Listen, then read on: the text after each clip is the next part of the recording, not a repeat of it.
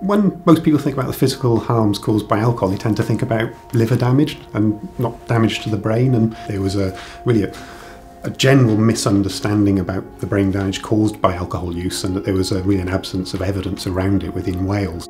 What we're doing is facilitating people who are most likely to come face to face with somebody who's potentially suffering from ARBD but not diagnosed. This is where the work with Pobl came about, and we put together an awareness raising training package which um, has been undertaken by over 900 members of staff to date. The e-learning package has enabled our staff to be more aware of the signs and symptoms of alcohol-related brain damage.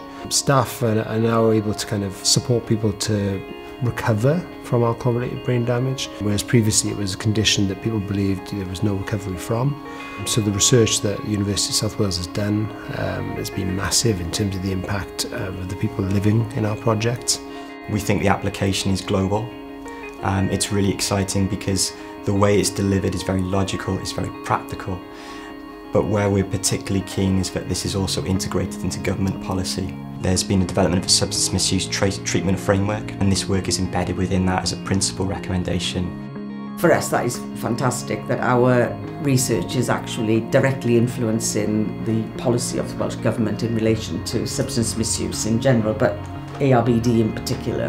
I think sometimes something we, we particularly struggle with in, in the health service is taking what we understand through research, through academia, into clinical practice. But that's shifted with this project, and I think that's a model that we really need to follow in other examples for other areas of care as well.